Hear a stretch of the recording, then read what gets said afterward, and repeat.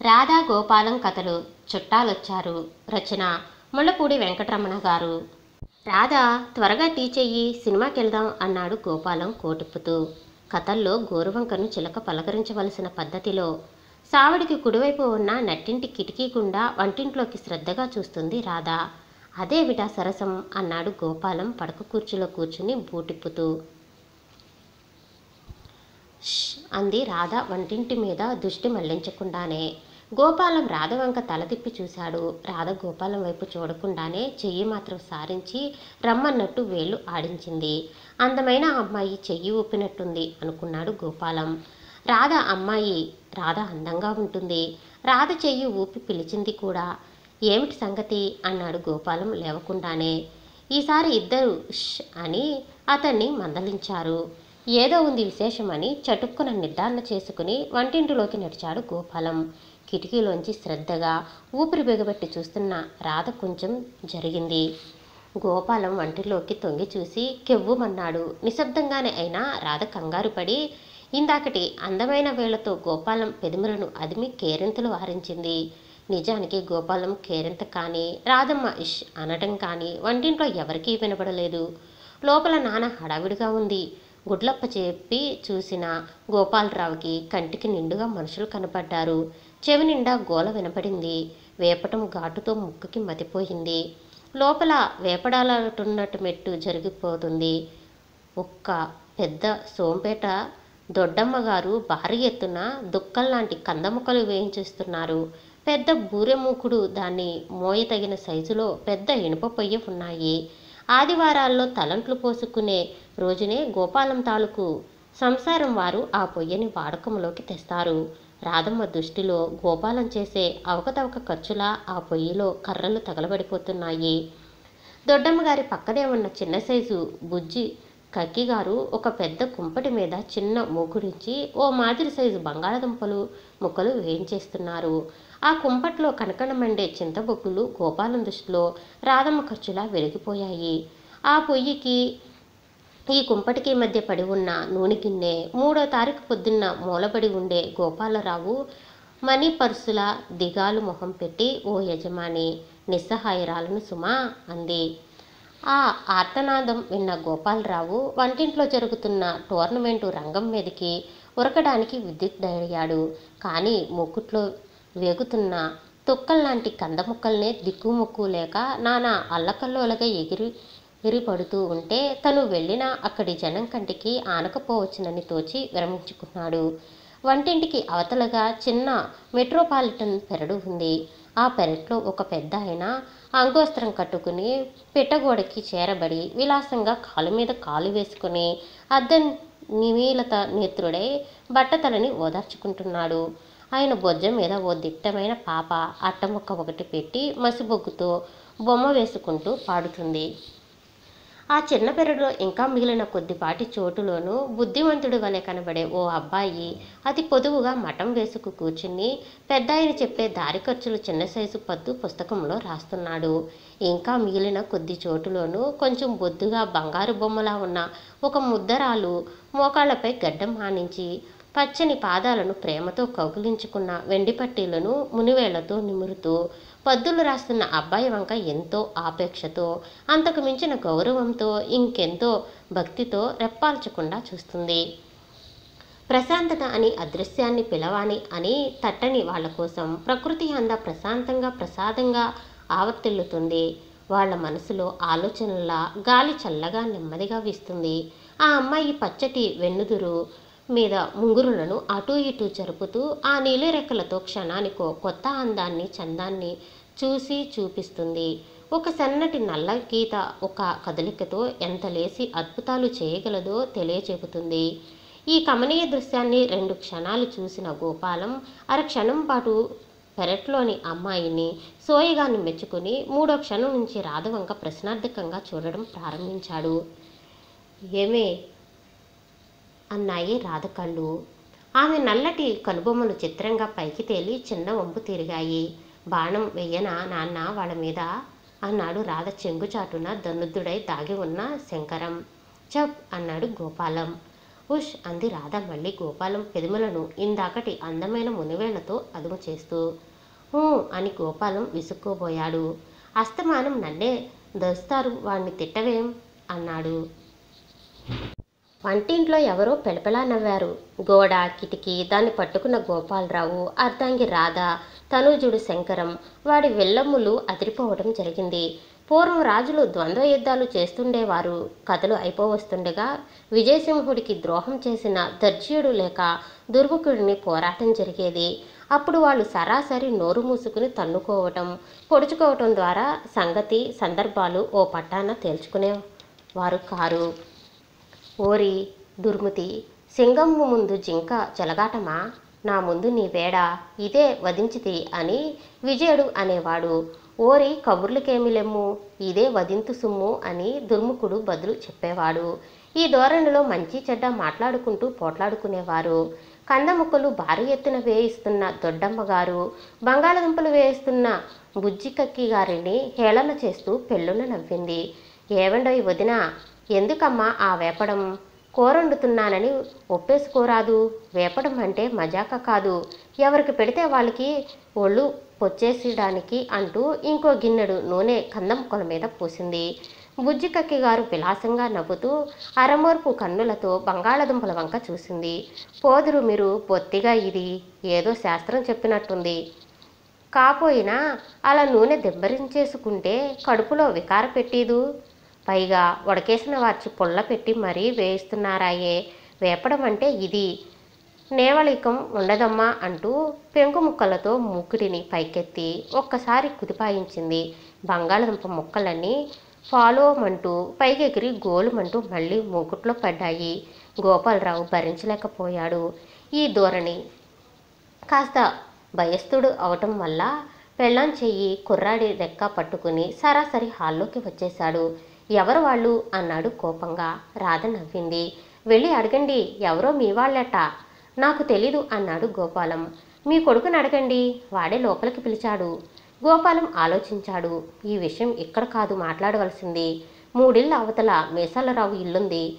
వాడు ఊళ్ళో లేడు. తాళం చెవులు తన దగ్గరే ఉన్నాయి. అక్కడికి పోయి ధైర్యంగా మంచి చెడ్డ మాట్లాడుకోవడం మంచిదనుకున్నాడు నిర్భయంగా. మీసాలు ఇంటికి పదా అన్నాడు. ఎందుకండి? మీరే పలకరించి అడగరాదు. అంది రాధ. కాదు నీకు తెలియదు ముందక్కడికి పద. స్థిమితంగా మాట్లాడుకుందాం. పద పద పద అన్నాడు గోపాలం.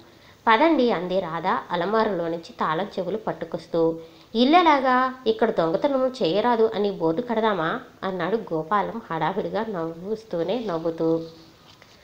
మరే యజమాని త్వరలోనే తిరిగి రాగలడు. జాగ్రత్త అని షరా కూడా రాయండి అంది రాధ. మీసాలరావు ఇంటో చతికిలపడ్డాక గబగబా చెప్పండి అన్నాడు గోపాలం.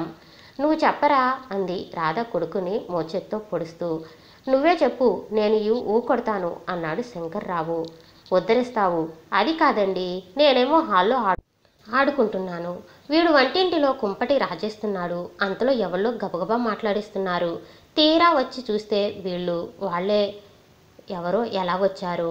మీ బుల్లి బాబుడే అడగండి అంది రాధా. నువ్వు చెప్పరా అన్నాడు. అది కాదు నాన్న మరేమో? ఒరే చిన్న నీకు సినిమా ఇష్టమేనా? హిందీ తెలుగు ఇష్టం లేవు ఇంగ్లీషు. రైట్ ఇంగ్లీష్ సినిమాకి తీసుకెళ్తాను. కానీ అదేమిటండి? బొత్తిగా మతిపోయిందేమిటి? వాళ్ళు నింటో వదిలేసి ఇంగ్లీషు సినిమాకి వెళ్తారా అంది రాధ. గోపాలం విసుక్కున్నాడు. చెప్పు బాబు వాళ్ళెవరో గబుక్కున చెప్పే చూద్దాం. శంకరం చెప్పేశాడు చకచక. అది కాదు నాన్న మరేమో నేను ఆడుకుంటున్నానా? బండొచ్చింది. వాళ్ళు దిగి లోపలికొచ్చారు. మీ నాన్నేడి అన్నారు. గోపాలరావు గారి ఇల్లేనా? అన్నారు. అవునండి లోపలికి రండి. కూర్చోండి. మంచినీళ్ళు కావాలండి. మా నాన్న లేడండి. ఇప్పుడే వస్తాడండి అని చెప్పాను. ఓ పెద్దావిడ లేదు. ఆవిడేం నన్నెత్తికోసుకుని నా తండ్రే అని ముద్దు పెట్టేసుకుంది నాన్న. మళ్ళీ నేను దింపాక ఏమండి మీకు కాఫీ కావాలా? ఓల్టీనా హార్లిక్సా? అని అడిగాను. అప్పుడేమో చాలు బాబు చాలు. ఎవరు రాదా? చెప్పరాదు అన్నాడు గోపాలం. అయ్యో కర్మ నాకు తెలియదండి. మీరు మప్పి పెట్టారుగా బుద్ధులు. అందుకని వీడే లోపలికి పిలిచి మర్యాద చేశాడు. నేను వంటింట్లోంచి వచ్చేసరికి వాళ్ళు నట్టింటో సామాను సర్దేసుకున్నారు. అదేం మాట? ఆ మాట చెరిపై కుర్రాడికి మంచి బుద్ధులు నేర్పడం తప్ప ఇంటికొచ్చిన వాళ్ళని పొండని తిట్టమని నేర్పమంటావా? వాడికి తోచింది వాడు బాగానే చేశాడు. వాడికన్నా ఆఖరికి నాకన్నా తెలివైన దానివి అనుకునే నువ్వేం చేశావట? ముక్కు మొహం ఎరగని పరాయి వాళ్ళని వంటింట్లో ముక్కల వేపడాలు చేసుకోమని విచ్చలవిడిగా వదిలిపెట్టేసి పైగా కిటికీలోంచి తొంగి చూస్తున్నావా? మీరెవరండి? ఏ ఊరు? దొంగలా? దొరలా? మీకు నేను తెలుసా? మా ఆయన తెలుసా? లేకపోతే మా అబ్బాయితో పరిచయం మాత్రమేనా? ఆవటాని మంచి చెడ్డ అడగొద్దు అన్నాడు గోపాలరావు. రాధ మొహం ముడుచుకుంది. ఇదిగో చూడండి వాళ్ళెవరో పెద్ద మనుషులు ఇంటికొచ్చారు. మర్యాద చేశాను. పెద్దవాళ్ళు ఉన్నారు కాబట్టి నలుగురికి వాళ్ళే ఉడకేసి పడేస్తామన్నారు. మీ వాళ్ళు కదా అని వాళ్ళ మాట కాదనలేక సరే అన్నాను. మీకు తెలియకపోతే వెళ్ళిపోతారులేండి. అంతేకాని వాళ్ళు దొంగలనడం తప్పు కాదండి. మనుషుల మీద బొత్తిగా ఇంత అపనమ్మకం అయితే ఎలాగా? గోపాలం జాలిగా కొంచెం హేళనగా మందహాసం చేశాడు. హో అన్నాడు. చూడు రాదా అందుకే ఆడవాళ్ళని ఆడవాళ్ళు మగవాళ్ళని మగవాళ్ళు అన్నారు. నువ్వు నిజంగా చిల్ల చిన్నపిల్లవని సుమి నీకు తెలియదు కానీ ఇలా మొగుళ్ళకి తెలిసిన వాళ్ళు అనుకుని పెళ్ళాళ్ళు పెళ్ళాళ్ళు చుట్టాలు కాబోలనుకుని మొగుళ్ళు ఊహించుకుని అమాంతంగా వచ్చే చుట్టాలకు ఇల్లు వదిలిపెట్టి గుల్ల చేసుకున్న సంఘటనలు భారతవనిలో ఎన్నో ఉన్నాయి. నీకేం తెలుసు? చిన్నదానివి. లోకంలో ఈ మధ్య అధర్మం అసత్యం వంచన మోసం టోకరా ఎంత పెట్టరేగిపోతున్నాయో నీకేం తెలుసు? పేపర్ చదివితేగా కనీసం కథలైనా చదివాయే. ఇలాంటి వాళ్ళని చూస్తూ చూస్తూ ఎలా నమ్మను? గంభీరోపన్యాసానికి మురిసిపోయాడు గోపాలరావు. రాధ గమ్యమంది. ఇంతకీ వాళ్ళు టోకరా మనుషులు అంటారు ఎలా అనుబుద్ధేసిందండి ఆ మాట? గోపాలం జాలిగా నవ్వాడు మళ్ళా. నాకు తెలుసుగా నువ్వు అలా అంటావని. దొంగలంటే గళ్ళు లుంగి నల్ల బనీలు వేసుకుని కూరమేసాలు మెలేసుకుంటూ విజిటింగ్ కార్డు పట్టుకుని మరీ వస్తారని నీ ఊహ కాబోలు. ఇప్పుడు మన ఇంటికి వచ్చారు చూడు వీళ్ళొక రకం గరానాలన్నమాట నేను లేనప్పుడు వచ్చేసారా నవ్వుతూ పేలుతూ నాలుగు రోజులుండి సుష్టిగా వండుకు తినేస్తారు. ఉప్పు పప్పు అయిపోక ఏం చెంబో చెంతాడో పట్టుకుని చక్కా పోతారు. అంతే చూడు కావలసిస్తే. మీకేం మా బెంగ వద్దులేండి. ఉప్పు పప్పు ఆఖరికి ఆ కూర ముక్కలు కూడా వాళ్ళే తెచ్చుకున్నారు. మీ చెంబు చేంతాడు అంతకన్నా వాళ్ళకి అక్కర్లేదు. అంది రాధా. నీకు తెలియదు రాధా లోకం పోకడా? మీకు అంతకన్నా తెలీదు. తెలిస్తే కనబడ్డ వాళ్ళందరినీ దొంగ దొర అని బేరీజు వేసుకుంటూ కూర్చోరు. వెళ్ళి మంచి చెడ్డ మాట్లాడి మర్యాద చేస్తారు. మీ నాన్నగారు వింటే ఎంత కోపడతారో అంది రాధా. ఏయ్ రాధా నాకన్నా తెలిసినట్టు మాట్లాడేవులే కానీ నీకేం తెలియదు వాళ్ళెవరో కాస్తో కూస్తో మా వాళ్ళ నెరుగురునేమో నాకు తెలియదు కానీ వాళ్ళు రేపో మాపో వెళ్ళాక నా మాట నిజమవుతుందని నేను ఘంటాపదంగా చెబుతున్నా. కాదంటే పందెం. సరే పందెం ఇంటికి పదండి. వాళ్ళని కాస్త పలకరుద్దురు కానీ గోపాలం నిట్టూర్చారు. మళ్ళీ మొదటికొచ్చావు. వాళ్ళెవరో ఎలా విచ్చేశారో చెప్పు కా చెప్పావు కాదు. ఎవరేమిటి? దొంగలను మీరే తేల్చేశారుగా. అదిగో అదే వద్దు. ఎత్తుపడుగులు ఎందుకు మధ్యన? నువ్వు నా కాళ్ళ ముందు స్కూలు ఫైనల్ ఫెయిల్ అయిన దానివి. నా మాట విను ఇలాంటి గరానగోల నేను బాగా ఎరుగుదును. కావాలంటే ఈసారి ఓ పాఠం నేర్చుకుందు గాని. ముందు వాళ్ళెవరో చెప్పు. వెళ్ళి పలకరించబోతే బాగుండదు అన్నాడు గోపాలం కొంచెం ప్రాధేయపడుతూ. రాధ చెప్పింది. కందముక్కలు వేయిస్తున్న ఆవిడ పేరు దొడ్డమ్మ గారు. ఆవిడ కందముక్కలు బాగా వేయిస్తారట. రెండో ఆవిడ బుజ్జికక్కి గారట. వేపడాలు చేతకాని మనిషిని దొడ్డమ్మ గారు అన్నారు. పెరట్లో కూర్చున్న ఆయన బుజ్జికక్కి గారి భర్త. ఆయన పక్కనున్న అబ్బాయి ఆయన కొడుకు. ఆ పక్కనున్న పిల్ల కోడలు. అంటే ఈ దొడ్డమ్మ గారి కూతురన్నమాట. మరే చూసా చాలా బాగుంది అన్నాడు గోపాలం. కామెంటరీ వద్దు కథ వినండి. ఎవరు వచ్చిన సందడి విని నేను సావిట్లోకి వచ్చేసరికి గోపాలం పెళ్ళానివా అమ్మా అన్నారు. అప్పుడు మీ వాళ్ళు అనుకున్నాను. పెద్దావిడయ్యా అన్న మాట గోపాలం అన్నాడు దొడ్డమ్మ గారు. మరే ఎప్పుడో రెండు పుష్కరాల క్రితం చూశాం. బొత్తిగా గుంటనుకో అన్నారు బుజ్జికక్కి గారు. మరే నల్లగా చింతపండు ముద్దలా ఎప్పుడు ఏదో ఓ మూలను చూసుకుని చీకట్లో కూర్చునేవాడు అన్నారు. ఆ పెరట్లో కూర్చున్న ఆయన నలుపైతేనేం?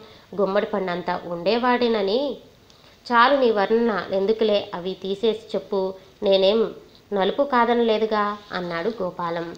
రాధ చెప్పింది. ఇంతలో వీడు మళ్ళీ కాఫీయా ఓల్టీనా అన్నాడు. నేను మంచినీళ్ళు కావాలా అంటుంటుండే మీ సొమ్మేం పోయింది? గ్లూకోజ్ కొని వజ్రాలు పొదిగిన వెండి గ్లాసుతో పోసివ్వనా అని కూడా అడుగుతారు.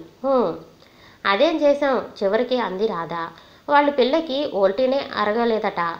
ఒంట్లో బాగోలేదట. వెంటనే ఈ విధవ వాయి చెడి చప్పుడు లేకుండా పరిగెత్తికెళ్ళి పక్క వాళ్ళ ఇంట్లోకి గ్లూకోజ్ అప్పు తెచ్చేశాడు. ఒరే శంకరం నువ్వు మీ తాతకి ఉత్తరం రాసి ఈ నెల నుంచి నీకు కావలసిన ఓల్టీనికి పరోపకార్థం పంచదలసిన గ్లూకోజ్కు డబ్బు తెప్పించుకో. వా నాకు జీతం మామూలుగా చాలదే కానీ. అబ్బా వినండి వీడలా తెచ్చినందుకు ఆ దొడ్డమ్మ గారు అమాంతం పైకెత్తేసి నో చచ్చిపోను నాతంటే. ఇలాంటి మంచి గుణాలు అందరికీ వస్తాయి. పెట్టి పుట్టాలమ్మా అంటూ బుగ్గలు నొక్కేసి ముద్దెట్టేసుకుంది. ఆవిడ జుట్టు పీకేసి ముక్కు గిల్లేసి కిందికి దూకేశాడు సరే దానికేం కానీ ఇంటికి పదండి అంది. బాణం వేసి కొట్టెత్తును అన్నాడు శంకరం. తప్పమ్మా శంకరం అంది రాధా. ఇంతకీ వాళ్ళెవరో? నేను ఇక్కడ ఉన్నానని నేను నేనే అని అది నా ఇల్లే అని నువ్వేమో మర్చిపోయా మరే వాళ్ళకి మీరెలా తెలుసు? సంగతి ఏమిటంటే వాళ్ళు తిరుపతి వెళుతూ ఇక్కడ దిగారు. ఇక్కడ ఇంజనీరు గారెవరో ఉన్నారట. ఆయన్ని బతిమాలి కుర్రాడికి ఉద్యోగం వేయించాలని వచ్చారట. మొన్ననే పెళ్ళయిందటలేండి ఆ ఇంజనీర్ గారు వీళ్ళకి తెలియదు చిట్టెమ్మ గారని ఇంకో బామ్మగారు ఉందటలేండి ఆవిడకి కొంచెం తెలుసట. ఆవిడ సిఫార్సు చేసి ఉద్యోగం వేయిస్తుందట. మన ఇల్లు మీ పేరు చెప్పి ఆవిడ వీళ్ళని ఇక్కడికి పంపి తను సరాసరి ఇంజనీర్ ఇంటి గారికి వెళ్ళిందట. ఇంకా సేపట్లో వస్తుందన్నారు. గోపాలం ఎగిరి గంతేసినంత పనిచేశాడు అరెరే చిట్టమ్మ గారు చిట్టమ్మ గారంటే యు మీన్? ఏమో? మీనో మానో నాకు తెలీదు చిట్టమ్మ గారట ధవళేశ్వరంలో మిమ్మల్ని ఎరుగురట బుచ్చికక్కి గారు చెప్పింది. చెప్పావు కాదేం? ముందర అది చెప్పవేం? ఎవరో పరాయి వాళ్ళు అనుకున్నాను చిట్టమ్మ గారంటే ఎవరో తెలియదు బామ్మగారు భద్రాచలం బామ్మగారు. ధవళేశ్వరం మువ్వళంకాయ కూర. పద పద అన్నాడు గోపాలం. రాధ నవ్వింది. ఏం అంత తొందర? ఇప్పుడు మీరు చెప్పండి ఎవరా చిట్టమ్మ గారు మన ఇంటికి ఎందుకు రావాలి? భద్రాచలం ఏమిటి? బామ్మగా రేమిటి? అంది. రాధ అందుకే నిన్ను చిన్నపిల్ల అన్నాను. చిట్టమ్మ గారంటే ఏం తెలుస్తుంది నీకు? చిట్టమ్మ గారు ధవళేశ్వరంలో నా చిన్నప్పుడు మా ఇంటి పక్క వాటలో ఉండేవారు. ఎంత దాటి మనిషి తెలుసా? ఇంజనీర్ కాదు జవహర్లాల్ నెహ్రూతో ఆయన సరే టకటక మాట్లాడేస్తుంది తెలుగులో. నెహ్రూ ఏమిటి? ఆ మధ్య నా చిన్నప్పుడు గాంధీ గారు వచ్చినప్పుడు ఎందరినో తోసుకుని వెళ్ళిపోయి ఐదు రూపాయలు ఇచ్చి దండం పెట్టింది. గాంధీ బాబు నువ్వు చాలా గొప్పవాడి సుమి అని చెప్పింది ఆయనతో. రాధ ఆసక్తి ప్రదర్శించింది. ఏయ్ రాధ గోదావరి వరదలు రావాలి చూసుకో మరి. చిట్టమ్మ గారు గోదావరి కన్నా ఎక్కువగా పరవళ్ళు తొక్కేసేది. వీధరుగ్గు మీద కూర్చుని పడవల వాళ్ళను వెళ్ళి గోదావరిలో కొట్టుకొచ్చే దొంగలు తెమ్మనేది. ఐదారుగురు తెప్పలు వేసికెళ్ళి పుట్టెడైతే పుల్ల తెచ్చి పడేసేవారు పెరట్లో. ఆవల వేడివేడి అన్నం ఆవకాయ పప్పు పులుసు వేసి వాళ్ళకి సుష్టిగా భోజనం పెట్టేసేది. కానీ పుచ్చుకునేవారు కాదనుకో ఇంకా రాదా? మువ్వంకాయ ఆవిడే వండాలనుకో అమృతం విశేల లెక్కనే కాయలక్కాయలు వండేది. వస్తుందిగా రేపు వండమని అడుగుతా. నీకు తెలీదు రాదా తెలిస్తే అలా హేళనగా చూడవు. ఆవిడే తీసుకొచ్చిందన్నమాట ఈ తండాని. ఇంతకీ వీళ్ళంతా ఎందుకొచ్చారన్నావు? ఉద్యోగం వేస్తుందట ఈ కుర్రాడికి. వరుసన మనవడులేండి అంది రాధ కొంచెం హేళన ధ్వనిస్తూ. ఉద్యోగం కాదు పట్టాభిషేకం కూడా చేయించగల. తాగుతుంది తెలుసా ఆవిడికి? పోనీలేండి ఎలాగో అలా నమ్మకం కుదిరింది వీళ్ళ మీద. రక్షించారు. ఇంటికి పదండి. చిట్టమ్మ గారు వచ్చింది కాబట్టి కానీ వాళ్ళ సంగతేమో నాకేం నచ్చలేదు. కాపోయినా అంత గొడవ ఏమిటి? పైగా ఆ వేపడాలు పోటీలేమిటి? బాగుంది ఆయన కథ కంద తినడట. అందుకని బంగాళదుంపలు వేయిస్తున్నారు. అయినా కాకపోయినా ఎందుకండి వాళ్ళని అలా ఆడిపోస్తారు? చిట్టమ్మ గారు గట్టిగా చెప్పి ఉండబట్టి వాళ్ళు చనువుగా వచ్చి ఉంటారు. కాపోతే మీరు బొట్టెట్టు పిలిచినా నిలువెత్తు ధనం పోసినా వస్తారా ఏమిటి? అంది రాధా. అదే రాధా అక్కడే నీకు నాకు తేడా. నేను మనుషులు నిట్టే చదివేస్తా. ఆవలిస్తే. మరే మరే పేగు లెక్కేస్తారు. మీరు చాలా గొప్పవారు. పదండి అంది రాధా. అలాగే అంటూ ఉండు. వాళ్ళు వెళ్ళాక ఏదో పాఠం నేర్చుకుంటావు. అప్పుడు మీరు చెప్పింది నిజం సుమండి అంటావు. అప్పుడు చెప్తా నీ పని అన్నాడు గోపాలరావు పెక్కిరిస్తూ ముగ్గురు లేచారు సొంత ఇంటికి వెళ్ళటానికి. శంకరం రాధ చెంగు పట్టుకులాగాడు. నవ్వాపుకుంటూ ఏమిట్రా? నీ గోలేమిటి? అంది రాధ. పక్కపక్క నవ్వేస్తూ వాళ్ళ నాన్న కాళ్ళు చూపించాడు శరం రాధ కూడా కొడుకుతో కలిసి నవ్వసాగింది. ఏమిటా నవ్వులు? అంటూ వెనక్కి తిరిగాడు గోపాలం. భార్యా బిడ్డల దృష్టి తన పాదాలపై కేంద్రీకరించబడి ఉండటం గమనించి తక్షణం తను అదే పని చేసి కెవ్వుమన్నాడు. ఒకాలికే బూటుంది. రెండో కాలికి లేదు. తను అంతసేపు కూర్చున్న చోట చూశాడు. లేదు నేను ఇలా ఒంటికాలు బూటుతోనే మన ఇంటి దగ్గర నుంచి వచ్చానా? అని అతి మెల్లగా అడిగాడు. అయితే అప్పుడు ఎందుకు చెప్పలేదు? ఇప్పుడు ఇంటికి వెళ్ళటం ఎలాగా? అన్నాడు గట్టిగా గబగబా కోపంగా. రాధ నవ్వడం మానేసింది. కళ్ళు నేలకి వాల్చింది. మీరు మాటతో చనిస్తేగా కొంప మునిగినట్టు ఇక్కడికి పరిగెత్తించారు. అయినా అంత తేలికపోవడం ఏమిటి? అంటూనే మళ్ళీ పక్కపక్క నవ్వడం ప్రారంభించింది. గోపాలం బూటికాలు చూసి ఇప్పుడు ఇంటికి వెళ్ళడం ఎలాగా అన్నాడు గోపాలం. బాగుంది. ఇప్పేయండి. ఇప్పేసి నెత్తన పెట్టుకుని ఇంటికి మోసుకుని రానా? ఎందుకండి? ఇది ఇక్కడ పడేసి అక్కడ దాన్ని ఇక్కడకు తెచ్చి రెండు తోడుకుని ఇంటికి నడవండి గోపాలం గోపాలను ఇంకా చల్లారలేదు. అది మాత్రం ఎలా తెస్తాం అన్నాడు రాధ తెలివి తక్కువతనానికి చటుక్కున నిరూపిస్తూ. రిక్షా పిలవనా నాన్న? అన్నాడు గోపాలరావు కొడుకుకు చిరంజీవి శంకరం సమయస్ఫూర్తితో. కాదు పల్లకి మాట్లాడు. మా నాన్న బూటు ఒకటి మొద్దురు కానీ రండి అని. అది కాదు నాన్న నీ బూటొక్కటే కాదుగా అమ్మ జోళ్ళు రెండు మొయ్యొద్దు. ఎందుకు? అన్నాడు గోపాలం. రాధ కళ్ళ వంక చూడాలని తట్టనందువల్ల కొడుకు కళ్ళలోకి పరీక్షగా చూస్తూ అమ్మ ఎర్ర ముఖమల జోడు ఓ కాలికి నీ టైరు జోడు ఒక కాలికి తొడుక్కుందిగా అన్నాడు శంకరం వినయంగా. గోపాలం కసితీర నవ్వేసి కొడుకుని అమాంతం ఎత్తుకున్నాడు. ఈలోగా ఆశ్చర్యపడటం కెవ్వుమనడం కోపం తెచ్చుకోవటం వరుసక్రమంలో పూర్తి చేసిన రాధ పొట్టిగా ఉన్న కొడుకుని నెత్తిని మొట్టికాయ వేయటానికి కొంచెం వంగబోయింది. ఆ క్షణానికే గోపాలరావు కొడుకుని మెచ్చుకోవటానికి పైకెత్తినందువల్ల రాధ శ్రమ లేకుండా శంకరానికి తేలికగా మొట్టికాయ వేయబోయింది. శివుడాజ్ఞ లేదే చేమైనా కుట్టదంటారు. అలాగే మొట్టికాయలు తేలిక రకం అయినా సరే పడవని కూడా అనొచ్చు. ఎందుకంటే ఉప్పొంగే వాత్సల్యం కొద్దీ కొడుకుని అక్కున అదుముకున్న గోపాలం తల కొడుకు భుజం మీద కొడుకు తల గోపాలం భుజం మీద ఆంచడబడడం జరిగింది. అందువల్ల సంకల్పం పర్యావసం వేర వేరయ్యాయి. రాధ ఒకటి తలచగా అలవాటు ప్రకారం దైవం ఇంకోటి తలచాడు. కొడుకు నెత్తి మీదకి ఉద్దేశించబడిన రాధమ్మ చేతి మొట్టికాయని పైన వివరించిన కారణాల వల్ల గోపాలరావు శిరసావహించడం సంభవించింది. తన్మయానందంలో ఉన్న గోపాలరావు కళ్ళు తెరిచి రాధ వెంక చూశాడు. రాధ నలు నాలుగు ఖర్చుకుని క్షమాపణ కోరుతున్నట్లుగా ప్రాధేయపూర్వకంగా తప్పు గ్రహించిన దానిలా చూసి వెలిసిపోయిన రంగు చీర వంటి మందహాసం చేసింది. అందమైన చేతివేళ మొట్టికాయలు కూడా గట్టిగానే తగులుతాయి అన్నాడు గోపాలం. మీసాలరావు ఇంటి నుంచి సొంత ఇంటికి వచ్చి మెల్లగా లోపలికి ప్రవేశించాడు గోపాలరావు. సతీ సుత సమేతావుడై. సావిటిలో ఓ పిల్ల మామిడి పండు తింటున్నట్లు అభినయిస్తూ రసం గుంజు తన ఒంటికి గోపాలం ఇంటికి పులిమేస్తుంది. గోపాలం ఆగి ఆ పిల్ల వంక కొరకొరా చూశాడు. బాగుంది అన్నాడు గంభీరంగా. ఏమ్మే అని ఒక్క కేక పెట్టి ఆ పిల్ల పెరటిలోకి పారిపోయింది. పోతూ పోతూ మామిడి టెంకని గోపాలం తెల్ల ప్యాంటు మీద విసిరి చక్కా పోయింది. ప్యాంటు కన్నా ముందుగా రాధవైపు చూశాడు గోపాలం. రాధ నవ్వు ఆపుకున్నట్టు అతనికి బాగా అనునానం చేసింది. హూ అంటూ రాధ వంక చూస్తూ తరువాతి అడుగు ఆ టెంక మీదే వేసి జారిపడిపోయిన గోపాలం పడకుండా రాధ భుజాలే ఆదుకున్నాయి. బాగుంది అన్నాడు గోపాలం కోపంగా. ఇల్లంతా నాశనం అయిపోతుందని నిర్ధారణ చేసుకున్నాడు బొమ్మల పుస్తకాలు బొమ్మలు తలగడలు మామిడి టెంక దాని తొక్క చల్లా చెదురుగా పడి ఉన్నాయి. నట్టింట్లో చుట్టాలు పెట్టే బేడ అడ్డదిడ్డంగా సర్దపడి ఉన్నాయి. హూ అన్నాడు గోపాలం నట్టింట్లో ప్రవేశిస్తూ. ఏమిటా హూహూలు వాళ్ళు వింటే బాగుండదు అంది వెనకాలే వస్తున్న రాధ. హూ అన్నాడు రాధా చెంగు పట్టుకు వస్తున్న ఘాటు శంకరం. నువ్వేమిట్రా మధ్య? అంది రాధా. ఆవిడెవరు? ఆ బామ్మగారు ఈవిడ సంగతి చెప్పలేదేం? అన్నాడు గోపాలం కొంచెం వెనక్కి తిరిగి. ఇంకే బామ్మగారండి? అదిగో ఆ గోడవార చెవుడు కాబోలు ఉలక్కుండా పలక్కుండా చీకటిలో కూర్చుంది. నిద్ర కాబోలు సౌడభ్యం. ఈసారి రాధ నవ్వు ఆపుకోలేకపోయింది. పొట్ట చేత్తో పట్టుకుని విరగబడి నవ్వసాగింది.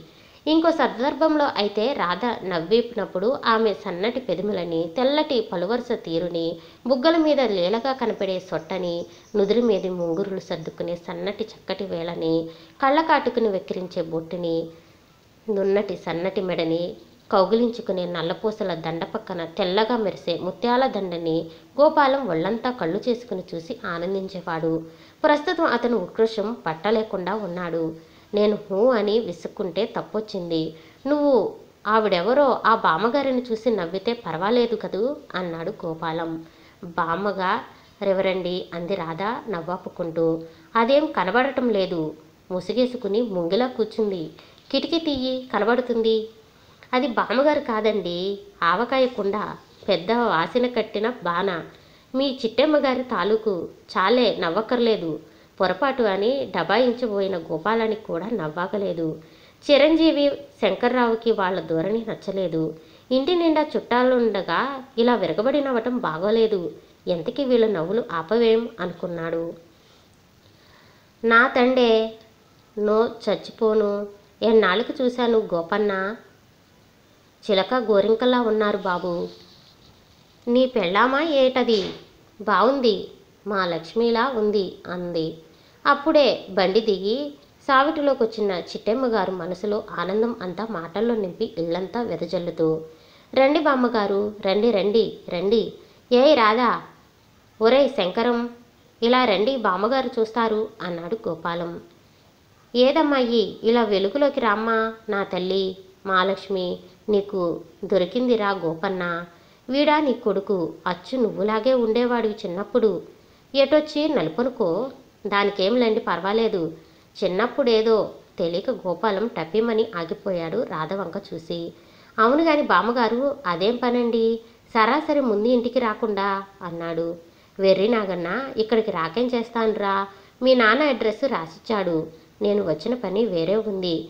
సరే ముందు అది చక్కపెట్టుకు మరీ వద్దామని అటు వెళ్ళాను. మా వాళ్ళని ఇటు పంపి తీరా చేస్తే ఆ పెద్ద మనిషి లేడనుకో ఏమిటో మీరు ముందు ఇక్కడికి వచ్చి తర్వాత వెళ్ళాల్సింది సుమా? అన్నాడు గోపాలం.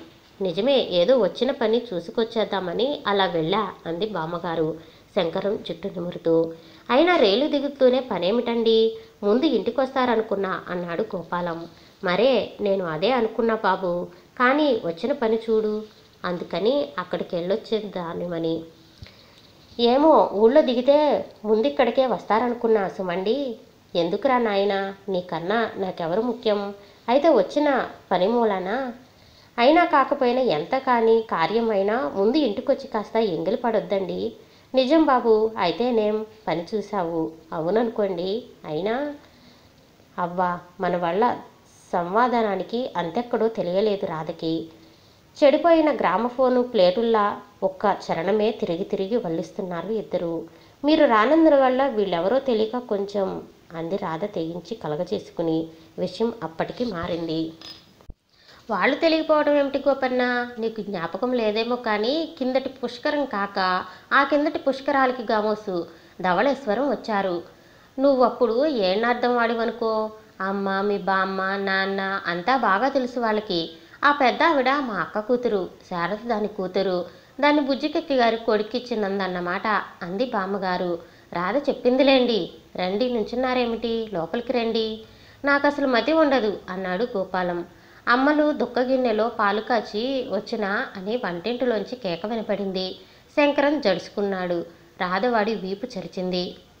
రాత్రి గోపాలాన్ని ఓ పక్కన శంకరాన్ని ఓ పక్కన కూర్చోబెట్టుకుని బామ్మగారు కీలుగురం కథ చెప్పింది. రాధమ్మ శారదని దగ్గరికి తీసింది. ఇద్దరు పెరట్లో పడుకున్నారు. కొత్తగా పెళ్ళైన శారద తెల్లటి వెన్నెల్లో వెలికిలా పడుకుని తన తొలి రోజుల అనుభవాలు మెల్లిగా మెత్తగా చెబుతుంటే రాధ ఆ నిమిష నేత్రాలతో తన అనుభవాల తెరల గుండా తెల్లటి చల్లటి వెన్నెలని ఆ వెన్నెల అవతల వెలిగే నీలిమాకాశాన్ని తన్మయురాలై చూస్తూ మెల్లిగా నవ్వుకుంటూ శారద అనుభవాల కబుర్లు ఉపశృతిగా వింటూ నిద్రపోయింది. పొద్దున్నే ఇల్లు హడావిడితో నిండిపోయింది. శారద అత్తగారు మామగారు దొడ్డమ్మగారు విసిరిన చెలుకులకి ఆడిన పరాచకాలకి రాధమ్మ కొత్త పెళ్ళి కూతురు మెల్లే సిగ్గుపడిపోయింది. మొగుడి వంక ధైర్యంగా చూడటానికి కూడా సాధించలేకపోయింది. గోపాలం అంతకన్నా కొత్త పెళ్ళికడిపోయాడు వచ్చిన వాళ్ళందరికీ ఎగతెగని మర్యాద చేసేస్తున్నాడు. ఆఫీస్కి సెలవు కూడా పెట్టేశాడు బద్ధకాన్ని తరిమేసి. కూరల సంచి పట్టుకుని బామ్మగారిని వెంట పెట్టుకుని బజారుకెళ్ళి సంబరాలు తెచ్చేశాడు. హోటల్ నుంచి ఇడ్లీలు కాఫీ తెప్పించి శారదకి ఆ పిల్ల ముగ్గుడికి పిల్లలకి ఆ పెద్ద ఆయనకి స్వయంగా అందించాడు. ఆయనకి చుట్టలు కూడా తెచ్చి ఇచ్చాడు. పది గంటలకు అయ్యేసరికి తెల్లుతున్న పప్పు పులుసు ఘాటుకు పొరుగిళ్ళు ఇరుగిళ్ళు కూడా గుమగుమలాడిపోయాయి భోజన కస్తూరి పరిమళం పెట్టరేగిపోయింది చిట్టెమ్మగారు పొత్తు పంచ కట్టుకుని అడ్డడు బియ్యపు గిన్నె ఆవలేలగా ఉంచి అక్కడ పెట్టేసింది. నవనవలాడే వంకాయలు రెండు వీసలు కారం కూరి మువ్వంకాయ కూర చేసేసింది.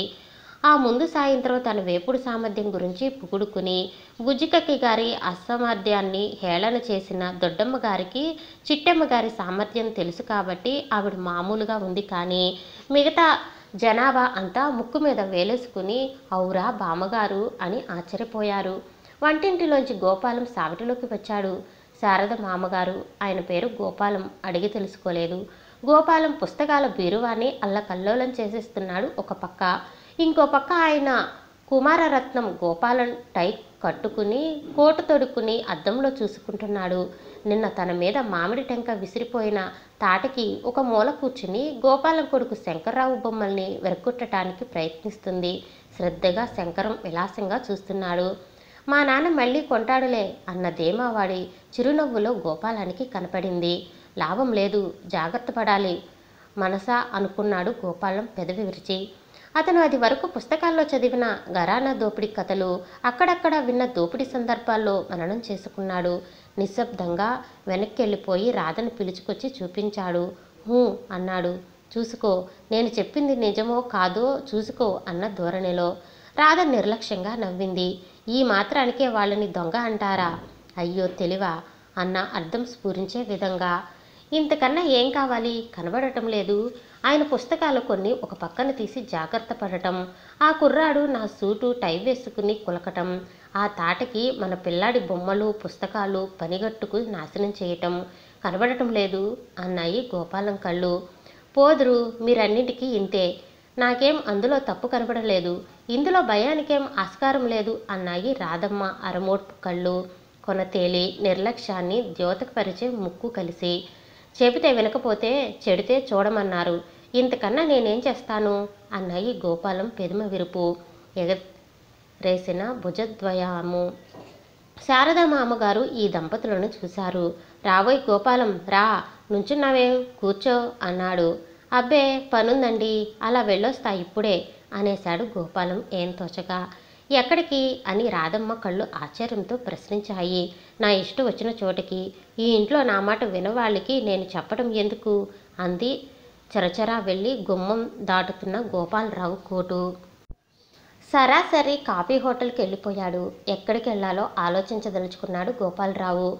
పని లేకపోతే నాతో రారాదు టోయ్ గోపాలం. చిన్న రాజకార్యం చక్కబెట్టాలి అన్నాడు కిళ్ళి కొట్టు దగ్గర కనబడిన స్నేహితుడు. అతని పేరు రావు వయసు ఇరవై ఎనిమిది వృత్తి సిగరెట్లు కాల్చటం. ఆస్తి బోలెడు ప్లస్ ఒకగారు సరదాలు అమ్మాయిలను ప్రేమించటం సద్గుణాలు పుష్కలం. దుర్గుణాలు చూడుడు అభిప్రాయములు అభిరుచులు ఆత్మస్థుతి పరుల ప్రశంసలు అందుకోవటం. అభిప్రాయాలు లోకంలో సర్వజ్ఞులు ఐదారుగురు అందులో తన కొడుకో ఇద్దరో. దుర్గుణాలు మచ్చు కోసం వెతికినా కనబడే అవకాశం లేదు. సైడు హాబీలు ఉద్యోగం లేని వాళ్ళకి వేయించటం ఉన్న వాళ్ళని తీసేయించటం దైనందినీయం పోట్లాడాలు తేవడం పరిష్కరించడం మాటల రవాణా. ఎక్కడికి? అన్నాడు గోపాలరావు. ఇక్కడే ఓ ఇంజనీరు గారింటికి. మా వాడు ఒకరికి ఉద్యోగం వేయిద్దామని అన్నాడు రావు. అయితే నేనెందుకు మధ్య? చూద్దువు గాని నా తడాక. ఇదివరకు ఇంజనీరు గాడు నా చేతులతో కీలుబొమ్మలే. వీడు కొత్తవాడు కుర్రాడట. లంచాలు పుచ్చుకోడని విన్నాను. పాతవాడైతే వంద రూపాయల ఉద్యోగం ఇస్తే మామూలుగా మూడు నెలల పాటు ఆశ్రయించిన వాడి జీతం తీసుకునేవాడు. వీడికి మాత్రం ఆశ్రయించేవాడికి చదువు రావటం బుద్ధిమంతుడుగా ఉండటం ముఖ్యమట. సిఫార్సు లేకపోయినా చాలామందికి ఉద్యోగాలు వేశాడట. మావాడు అడ్డగాడిదనుకో అయితేనే నేను మాట్లాడి వేస్తా నీకు తెలుసా? కొద్దిగా అన్నాడు రావు. కారు డ్రైవర్ చేస్తూ శారదమ్మ గుడికి చిట్టమ్మ గారు ఉద్యోగం వేయించేది కూడా ఈ ఇంజనీర్ దగ్గరే. కాదు కదా కొంపతీసి అనుకున్నాడు గోపాలం. పన్నెండు గంటలయ్యింది. ఇంజనీరు గారి ఇంట్లో గోపాలం సమక్షాన రావు శతవిధాల పలుకుబడి వినియోగిస్తున్నాడు. ఇంజనీరు గారికి ముప్పై ఐదేళ్ళు కన్నా ఉండవు. పచ్చగా పుష్టిగా ఉన్నాడు. కళ్ళైన ముఖం. సారీ కళైన ముఖం. పొడగిరి. అయినా అడ్డగాడిదలకి ఉద్యోగం ఎలా ఇవ్వనండి? మీరే చెబుతుండిరి మీ వాడు అడ్డగాడిదా అని అన్నాడు ఆయన రావు సోది విని విని విసిగెత్తి. నిజమేననుకోండి అన్నాడు రావు. ముమ్మాటికి నిజం నాకు సెలవిప్పించండి భోంచేయాలి అన్నాడు ఆయన కాస్త చిరాకుగా. గోపాలానికి మనసు చివుక్కుమంది. ఆయన ఎంత మంచివాడైనా ఇంటికొచ్చిన వాళ్ళని వెళ్ళమంటున్నందుకు. ఇంజనీరు బాబు ఉన్నారా? ఎవరండి? అంటూ ఇంజనీరు గారు ఆ ఆఫీసు గదిలో నుంచి లేచి సావిట్లోకి వెళ్ళాడు. గోపాలం కొంచెం వంగి చూశాడు. చిట్టెమ్మ గారు నెత్తి మీద ఆవకాయకుండా కుడి చేతిలో టిఫిన్ క్యారేజీ పట్టుకుని నిండుగా నవ్వుతూ నించుంది. ఎవరమ్మా? అన్నాడు ఇంజనీరు గారు. నేను బాబు చిట్టెమ్మని. నువ్వెరగవు కానీ మీ నాన్న వాళ్ళు మా పొరుగింట్లో ఉండేవారు ఇది వరకు ఏం గొప్ప హృదయమని అయినది అందావిడ. అయ్యో నెత్తి మీద బరువుతో నించున్నారే. ఉండండి సాయం పడతా దింపండి అంటూ నెత్తి మీద బాణ దించారు ఇంజనీర్ గారు. ఇదంతా ఏమిటంటే మీ అమ్మ సోంపేట నుంచి ఉత్తరం రాసింది బాబు. నీకు ఆవకాయ అంటే ఇష్టమని ఏదో కొద్దిగా పెట్టి తిరుపతి వెళ్తూ ఇక్కడ దిగి తెచ్చాను. చూడు బాబు ఇదిగో మొవ్వంకాయ కూర కూడాను. లోపలికి పద భోంచేదుగాని ముందు. మనవరాలేది? మా లక్ష్మే. ఇంటి మాటలు వినపడలేదు ఇరవై నిమిషాల దాకా. రాబు వెళ్ళిపోయినా గోపాలం కూర్చున్నాడు చిట్టమ్మ గారి కోసం అని భోజనాలై సావిట్లోకొచ్చారు. చిట్టెమ్మగారు జన్మలో ఇంత రుచి అయిన కూర నేను ఎరగను అనుకోండి. ఆవకాయ అమోయగంగా ఉందిలేండి. మా అమ్మ చెప్పటం మీరు తేవటం కాకపోయినా కబురంక పోయి పోయారండి. బంట్రోత్తును పంపుతున్నాను అన్నాడు ఇంజనీర్ గారు. అయ్యో మడికట్టుకు వేసిన ఆవకాయ బంట్రోత్తు చేత ఎలా మోయిస్తాం బాబు? అయినా తెప్పయ్య ముందులే అంది పామగారు సరే ఇంత మిట్ట మధ్యాహ్నం ఎండలో మా ఇంటికొచ్చి భోజనం చేయకుండా వెళ్ళటం భావ్యం కాదు బామ్మగారు అంది ఇంజనీరు గారి సన్నటి భార్య సన్నని గొంతుతో. బామ్మగారు ఇవాళ మీరు మా ఇంట్లో ఎంగిలి పడకపోతే నా మీద ఒట్టే. కావలసి వస్తే మళ్ళీ మడికట్టుకు వండుతాను. మీలాంటి వారు మా ఇంటికి రమ్మంటే వస్తారా? మళ్ళా మళ్ళా అంది ఇంజనీరు గారి భార్య. గోపాలానికి ఆనందంతో ఒళ్ళు పులకరించింది. చిట్టెమ్మగారి జరుగుతున్న గౌరవానికి మీరు భోంచేయక తప్పదు అన్నాడు ఇంజనీర్ గారు. ఇంజనీర్ బాబు అంది చిట్టమ్మ గారు గంభీరంగా. యువతల గదిలో గోపాలం చెవులెక్కించుకుంటూ వింటున్నాడు. ఇంజనీర్ బాబు నేను నేను అడిగేది ఈ పూటకి భిక్ష కాదు శాశ్వత భిక్ష. నా చెల్లెల అల్లుడికి సర్కారులో ఉద్యోగం వేయించు. నా ఘటం మహారాజులా వెళ్ళిపోతుంది. నాకేం బెంగలేదు కానీ నా చెల్లెలుకున్నదల్లా ఒక్కగానొక్క బిడ్డ. దాన్ని అయ్య చేతిలో పెట్టింది. అతగాడే వాళ్ళని గట్టెక్కించాలి. వాడైన బుద్ధిమంతుడు యోగ్యుడు మెట్రిక్యులేషన్ పరీక్ష ఇచ్చాడు. మా ఊళ్ళోనే ఉద్యోగం ఖాళీ అయిందట నువ్వే ఇవ్వాలట. అందుకని ఆ ఉద్యోగ భిక్ష పెట్టు ఇంజనీర్ బాబు అంది చెంగుపట్టి. రెండు క్షణాలు నిశ్శబ్దం ప్రవర్తిల్లింది. గోపాలం సరా గుణపట్టి కూర్చున్నాడు. అలాగే చిట్టమ్మ గారు ఆనక అబ్బాయి నోసారి పంపించండి మాట్లాడి. నీ ఇల్లు వెయ్యిళ్ళ మొదలై నా తండ్రి నా తండ్రి వస్తా బాబు అంది చిట్టమ్మగారు.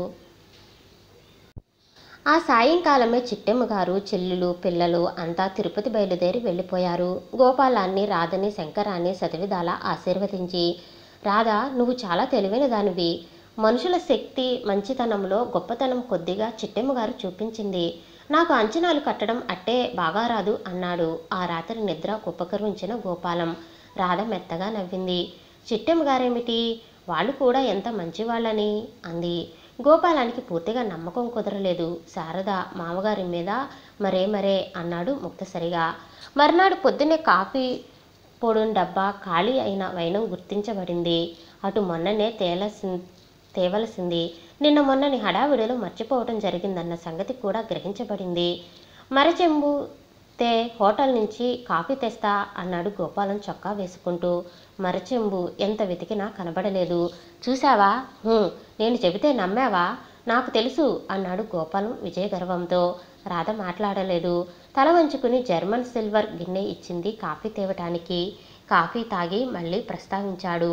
పోనీలేండి మా బామ్మ పెళ్ళి నాటి చెంబది. సొట్టలు కూడా పడింది. పొరపాటున పట్టుకెళ్ళుంటారు అంది రాధ. అదే నేను అనేది.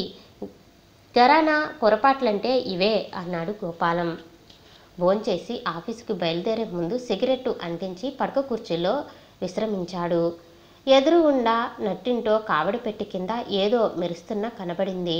పక్కనే కూర్చుని తమలపాకులు వేసుకుంటున్న రాధ కూడా అది గమనించింది.